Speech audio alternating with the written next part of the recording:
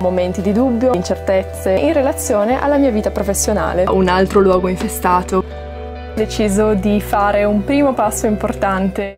Io sono Giulia, lui è Mess e questa è Alba, la nostra casa, con la quale stiamo navigando nel Mediterraneo, al momento in Croazia. Iscrivetevi al canale e salite a bordo per un grande viaggio tra le meraviglie della natura ed il regno dello spirito. Nell'episodio precedente, un temporale all'ancora ha messo la nostra barca in pericolo e ci ha ricordato che gli imprevisti sono sempre dietro l'angolo. Oggi navighiamo verso l'isola di Brazza e cerchiamo disperatamente di sfuggire ai fantasmi che ci inseguono.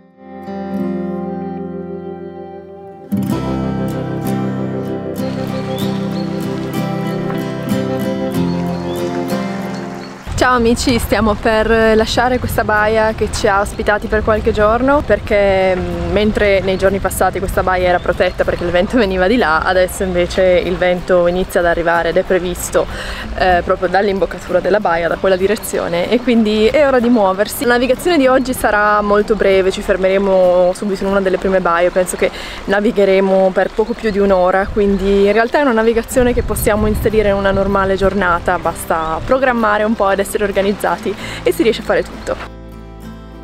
Basta programmare ed essere organizzati e si riesce a far tutto. Questa è sempre stata la mia strategia per mettere insieme in una sola giornata vita in barca vela e navigazione, lavoro da giurista, riprese e montaggio dei video, studio e scrittura creativa. Se poi uniamo anche il desiderio di socializzare ed esplorare terre nuove e l'interesse per la spiritualità e la crescita personale, abbiamo un mix forse un po' eccessivo.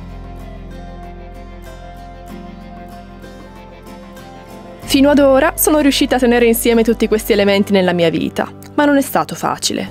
Ciascuna di queste cose esprime una parte di me, ma allo stesso tempo tutti questi elementi così diversi sono anche in conflitto tra loro. E in un certo senso sono io ad essere in conflitto con me stessa.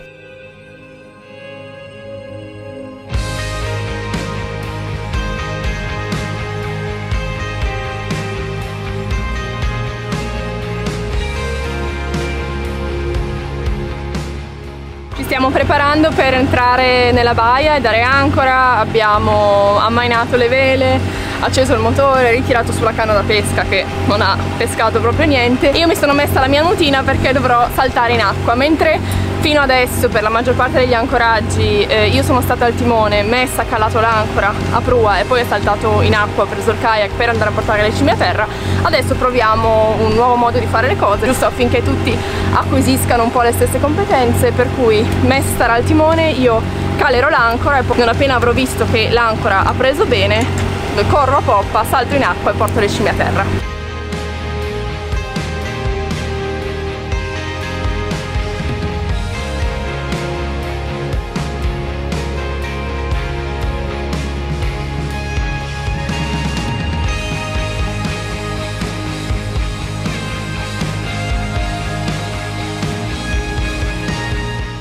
Missione compiuta, ho portato le scimmie a terra, mi sono fatta la mia nuotata, non riusciamo a vedere l'ancora, eh, però sembra che abbia preso, almeno dal movimento della barca.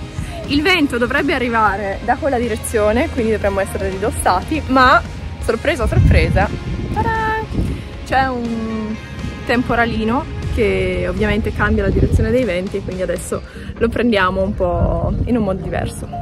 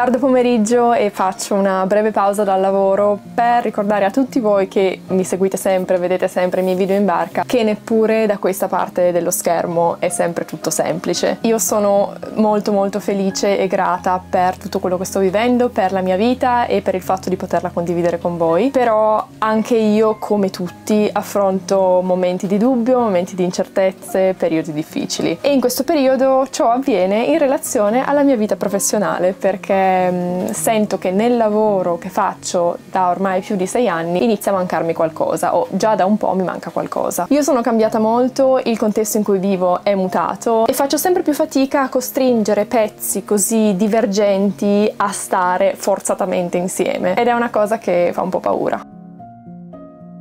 Abbiamo passato tutta la giornata a bordo di Alba, a destreggiarci tra lavoro al computer e faccende domestiche, che in barca sono sempre un po' più complicate.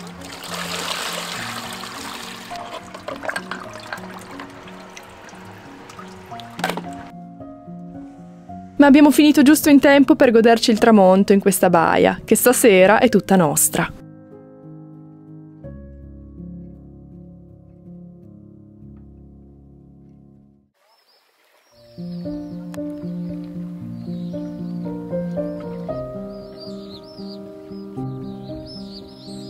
Eccoci all'alba di un nuovo giorno e ogni giorno, come anche ogni ora e ogni minuto, è potenzialmente il principio di una nuova vita. Ma per dare inizio a qualcosa di nuovo, bisogna prima fare i conti con i fantasmi del nostro passato, che ci tengono incollati alla nostra vecchia identità.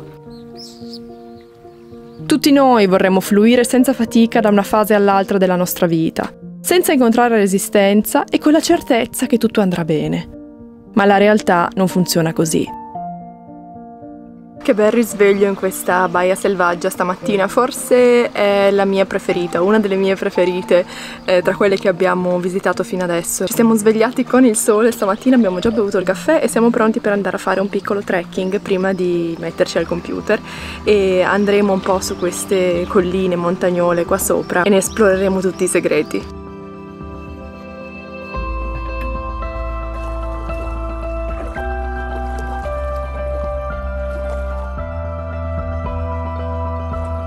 Io non mi considero una persona paurosa, ma ogni volta che sono sul punto di intraprendere una nuova avventura, che si tratti di un viaggio, un'esperienza, un nuovo progetto, vorrei sempre sapere come andrà a finire.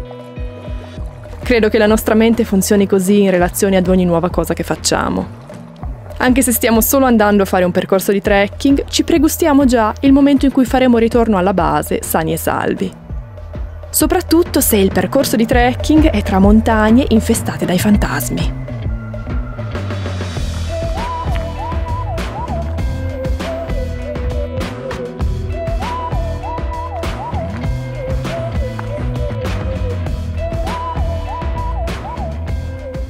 Brazza è l'isola più grande della Dalmazia e la terza di tutta la Croazia. Già nel Paleolitico c'erano insediamenti umani, che però sono svaniti nel Neolitico. Anche tutti i villaggi fondati dagli Illiri, che io chiamo i pirati dell'Adriatico, sono andati perduti. Per questo la parte dell'isola dove ci troviamo noi ha conservato una bellezza selvaggia, ma anche un po' spettrale.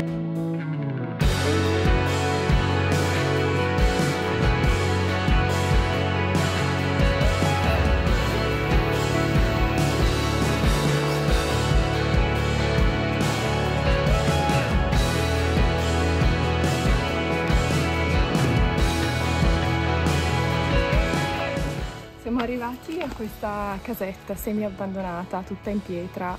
È un posto incredibile perché sembra una casa di montagna, si sentono anche delle pecore belare, si vedono le montagne dell'isola, ci sono un po' tutte quelle cose che si trovano nelle case di montagna in pietra, ma poi laggiù si vede uno scorcio di mare, si vede anche Alba.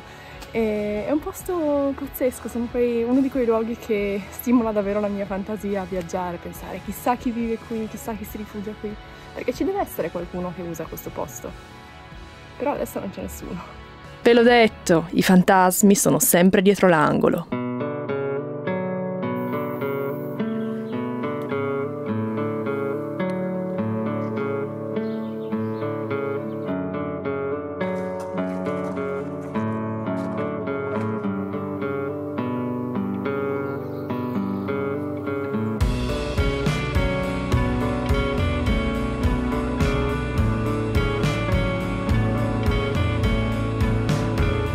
Non era solo una casa, è un intero villaggio fantasma. Abbiamo trovato tutte queste costruzioni in pietra, alcune mezze crollate, altre ancora abbastanza in buono stato. Però adesso è tutto abbandonato. Si possono proprio distinguere le varie case, i cortili, gli ingressi dei cortili.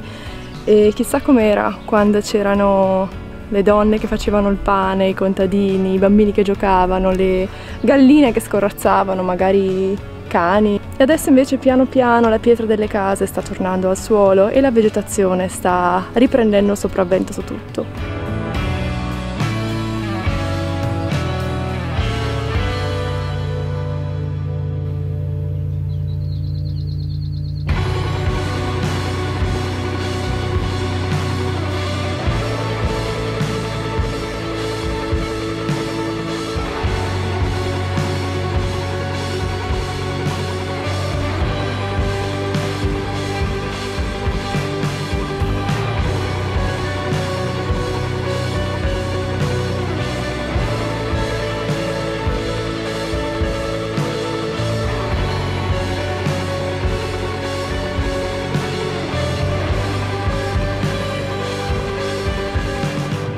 Forse non c'è motivo di temere gli spettri che abitano questo villaggio abbandonato.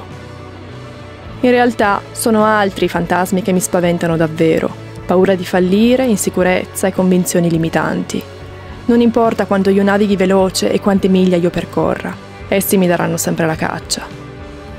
Di tanto in tanto i miei fantasmi mutano forma, ma non mi lasciano mai. Gli spettri che mi perseguitano in questo periodo sono legati alla mia identità professionale. È come se volessero trattenermi nel passato, impedirmi di evolvermi e convincermi che io non posso fare nulla di diverso rispetto a quello che ho sempre fatto, pena il fallimento.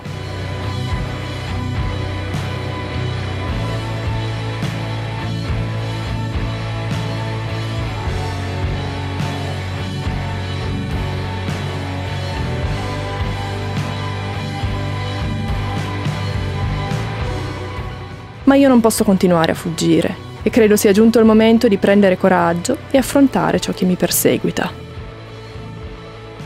In questa baia c'è in realtà un altro luogo infestato, che è un tunnel per il riparo dei sottomarini eh, dell'ex Jugoslavia, è una, una vecchia struttura bellica e adesso andiamo ad esplorarlo.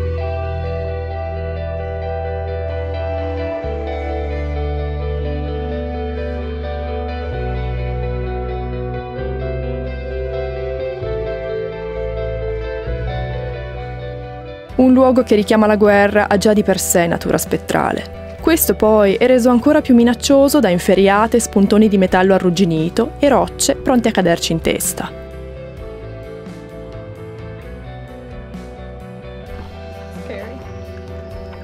Mentre remavamo dentro la galleria buia, stormi di pipistrelli ci scrutavano con migliaia di occhi tetri. E cosa ancora più inquietante, presenze invisibili ci osservavano dalle loro postazioni lungo il tunnel, qualcuno in piedi sulla riva, altri seduti a tavoli abbandonati, altri ancora nascosti nelle interminabili gallerie buie scavate nella roccia.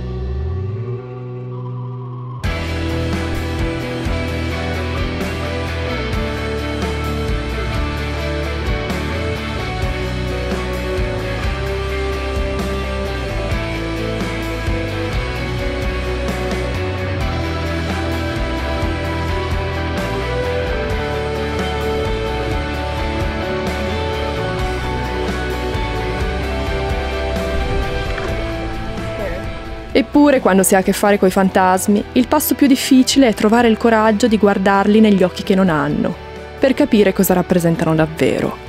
La consapevolezza di ciò che non vogliamo più essere è il primo passo nella trasformazione verso ciò che vogliamo diventare. Dopo un lungo periodo di riflessione ho deciso di fare un primo passo importante nel mio percorso di trasformazione personale. Ho guardato in faccia al mio fantasma, cioè la convinzione che la mia identità professionale debba rimanere sempre la stessa, che io debba continuare a fare sempre le stesse cose nello stesso ambito, nello stesso modo, e ho deciso di affrontarlo. La Giulia giurista continuerà a vivere in me, ma in un modo diverso. Ho deciso di intraprendere un nuovo percorso di studio, un programma che mi darà competenze e una struttura ora per aggiustare la mia rotta professionale, in modo da navigare nel vento della mia vocazione. Fino ad ora nella mia vita ho coniugato elementi molto diversi della mia personalità, ma credo sia giunto il momento di fare un passo avanti e fondere tutte queste cose così diverse in qualcosa che esprima davvero chi sono. Non condivido ancora esattamente di cosa si tratta, lo farò più avanti, ma vi posso anticipare che non ho intenzione di fare né la youtuber a tempo pieno né l'influencer né queste cose qui, anche se non ci sarebbe niente di male, però non è quella la mia intenzione. La mia formazione giuridica continuerà ad avere un ruolo molto importante, ma nell'ambito di un progetto di vita un po' più ampio. Ma vi terrò aggiornati in futuro passo dopo passo condividerò con voi i diversi step di questa mia trasformazione. Non so come andrà ovviamente, ma forse è proprio questo il bello. Se intraprendessimo una nuova avventura solo quando abbiamo la certezza della vittoria, allora rimarremo sempre incollati al divano, dietro la linea di partenza.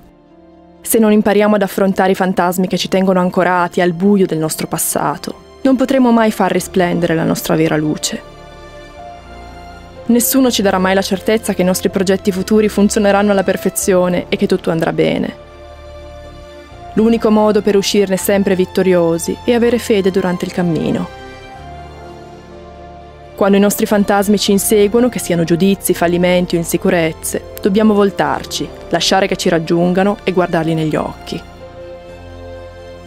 Solo attraverso la nostra consapevolezza potremo dissolverli e trasmutare la loro energia negativa in una spinta ad andare avanti, a crescere e a migliorare. Non perdetevi il prossimo episodio, in cui sono costretta a riconsiderare il mio rapporto con YouTube.